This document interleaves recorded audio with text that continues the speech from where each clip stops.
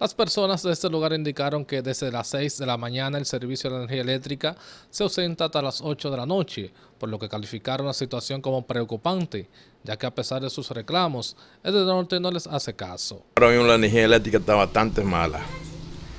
Aquí llega ella a las 6 de la tarde y se va a las 8 de la mañana. En el día entero no hay luz.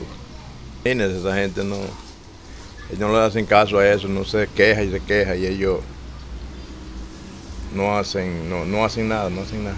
La losa mala. En vez de llega la luz y a poquito rato ya estamos oscuros.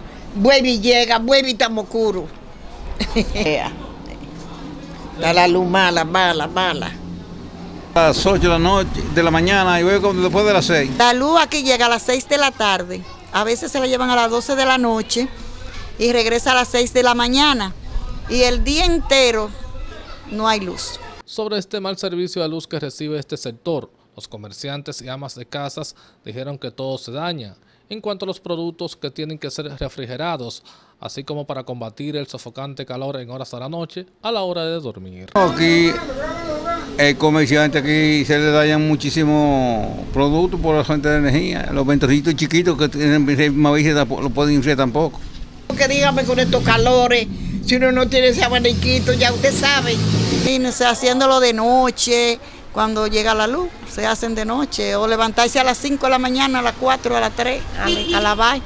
Asimismo, aquellos que viven del comercio que amerita la permanencia directa de la energía eléctrica, como es el caso de Pedro Rodríguez, dueño de una peluquería, dijo que los fuertes y kilométricos apagones hacen imposible la estabilidad y prosperidad del negocio. problema, mira, que no podemos estar aquí porque, mira, yo tengo una peluquería y no puedo pelar porque la luz no nos abastece a nosotros.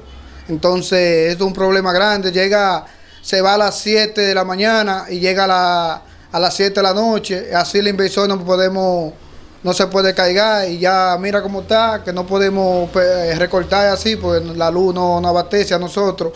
Entonces, a las autoridades competentes que se pongan la pila en eso, si no le vamos a hacer un llamado a huelga en los próximos días. Así como la Yagüita del Pastor, sectores como la urbanización Fernando Valerio, Pekín, Los Salados y Buenos Aires, entre otros, también mantienen un glosario de quejas por el mal servicio de energía eléctrica que a diario reciben.